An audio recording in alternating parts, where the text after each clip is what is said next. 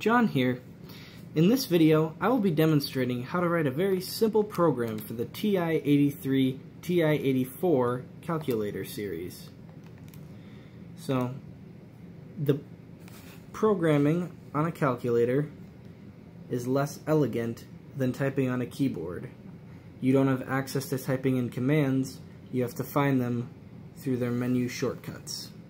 So before we start, I need to make the program. I'm going to call it a void. The program is now created and I can begin typing. So the first part of this program is several assignment statements.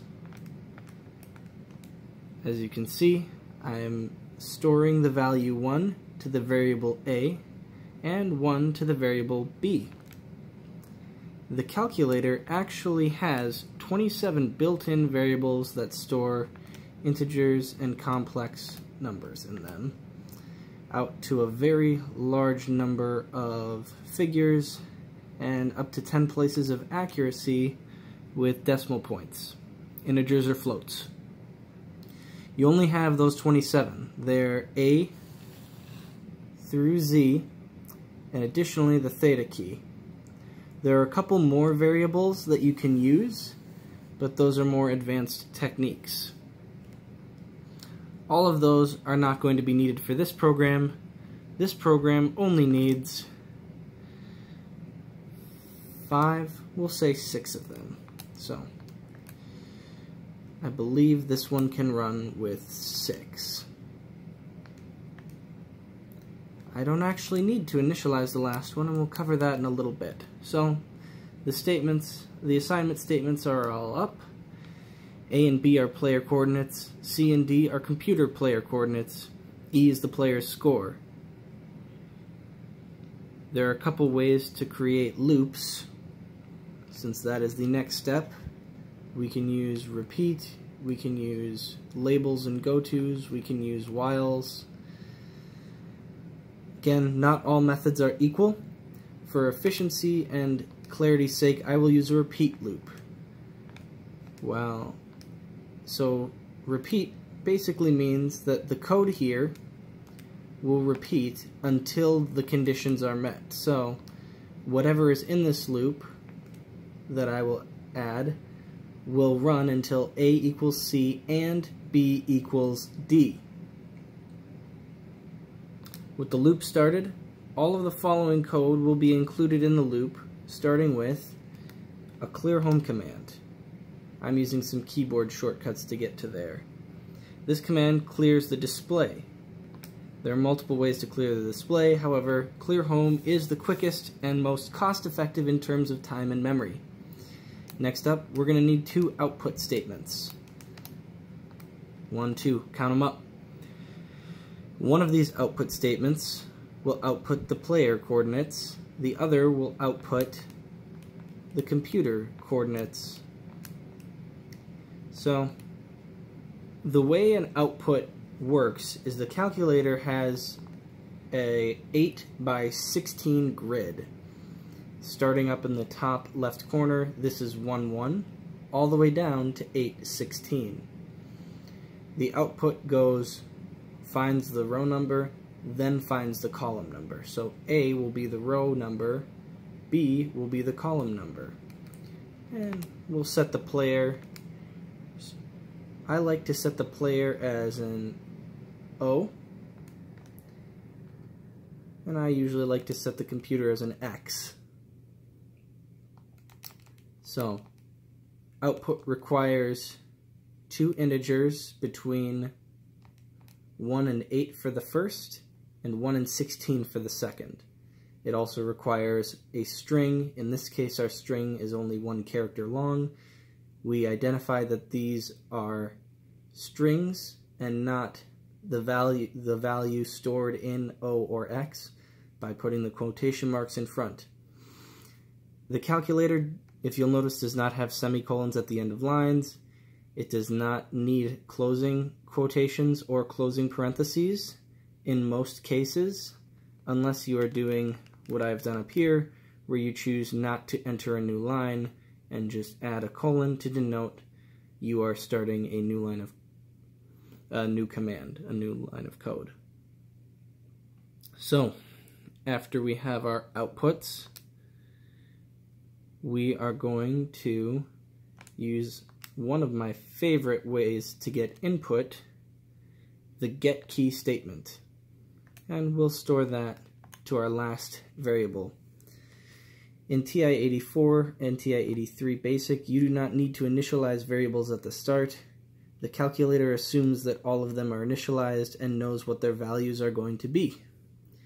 So get key store F will get input. The calculator will try and wait until someone pushes a button. In this case, the number that will be assigned to F is, again, dependent on a grid. Starting at the top left, this is 1, 1 or 11. 1, 2 will be 12. 13, 14, 15. That means this is 2, 1, 21, 22, 23. Now you get to here, and these don't quite seem to line up, but this is 24, 25, 26.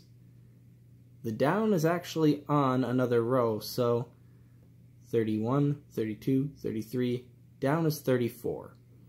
There are 10 rows, meaning your last row would technically start at 101, 101.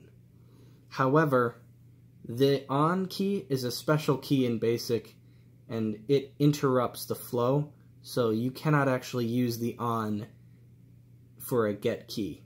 However, the rest on its row work just fine. 102, 103, 104, and 105. Moving back to the program, we are going to try and add some logic to catch what the player has inputted if they input 24 and b is greater than 1 we'll allow b to be stored back into b. Now assignment statements work a little bit different in Calculator Basic as well.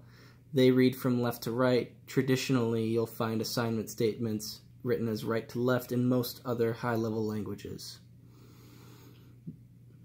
I apologize again for the uh, spot on my screen. It doesn't affect the running, it just affects the display. This calculator has been through a lot in its 10 years of use. So, we're again just adding more conditional statements. The AND part of this logic is very important. If you attempt to output to a location that is not on the 8 by 16 grid, it will throw up a display error and your program will come to a halt. So these logic checks here are ensuring that we do not fall off the edge of the map. That looks like I made a little typo there. That's okay, we can keep moving. So because B is our x coordinate, or our horizontal coordinate rather, we'll be checking the for 24 and 26. A will be checking 25 and 34. So again, horizontal, the value will be 16. And the value for A would be 8 that we will check against. A fun fact about if statements on the calculator. Ordinarily, you would need a then statement after an if statement. On the calculator, however, you have that option, but if you only want to test one thing and execute one line after your test, you don't need the then statement. This is crucial. It actually really affects the runtime of your program. If-then statements take a lot of time and the calculator does not have a lot of memory to process these. So the next bit of code gets into some of the random number features. So we're going to choose a random integer between 1 and 4 plus the integer. Oh, I'm in the wrong thing.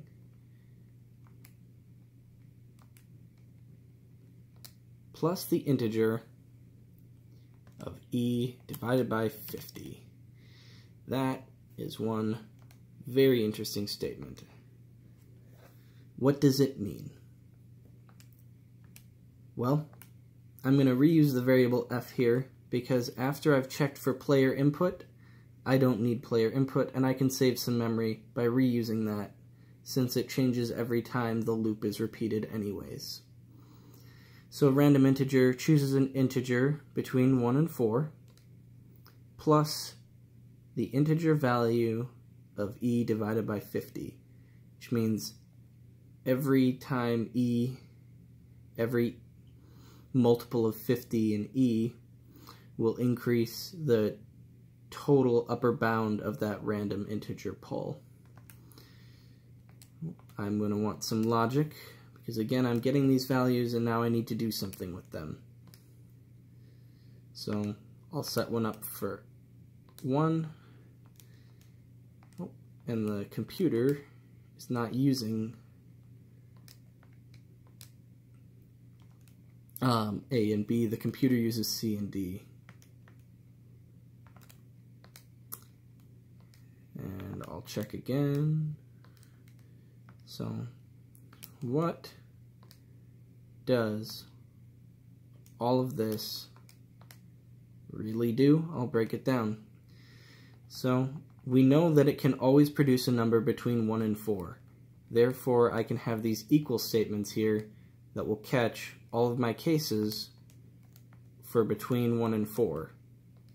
However, the value of E will track the player's score in this game, and that is not a static value. That will be incrementing every time we run through a cycle of the loop. In this case, every 50 points the player gets will increase the odds that the random integer method will pick a number larger than 4.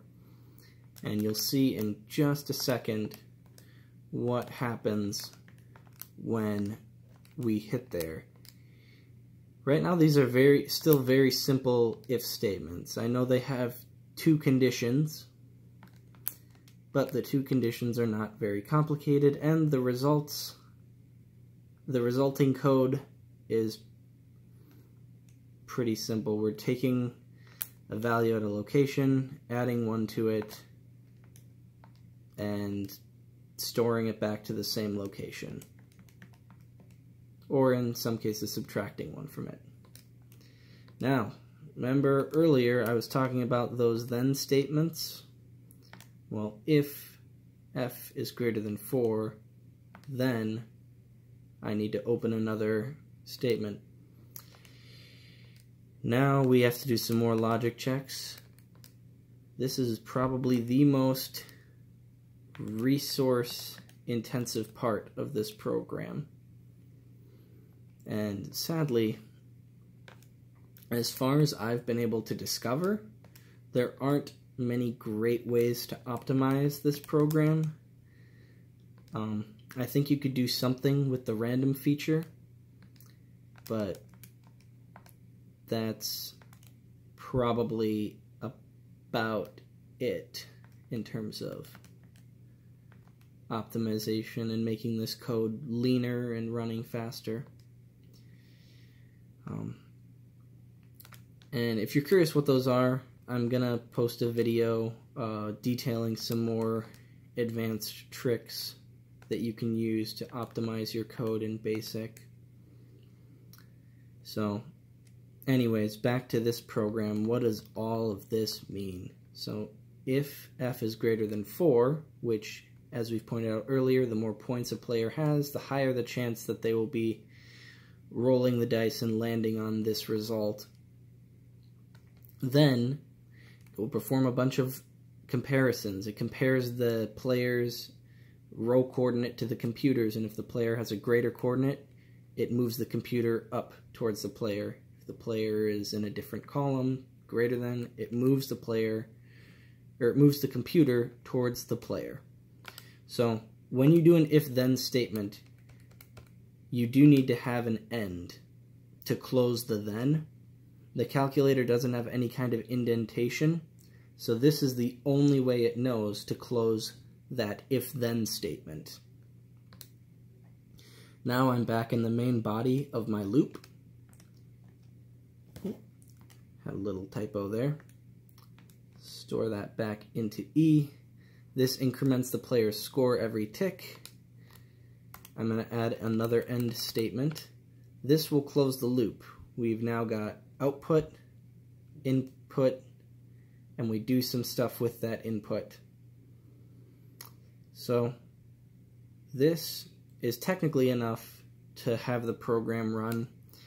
I like to make my programs end on a little bit of a cleaner note, so I'll add a clear home to wipe away all of the stuff that goes on during the display. And a trick, when you're finished with the program, it will display done over up here. If you do, if you add these two lines when the program finishes executing, it will not add that.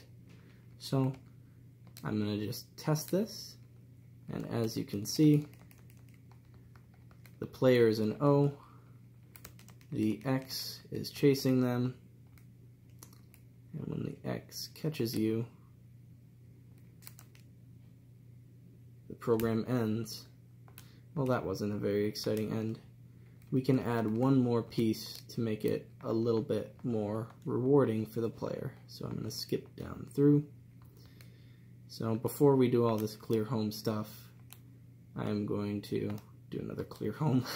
we'll do an output and we'll put one, one, and we'll say the player got a score. And I'll add an empty space.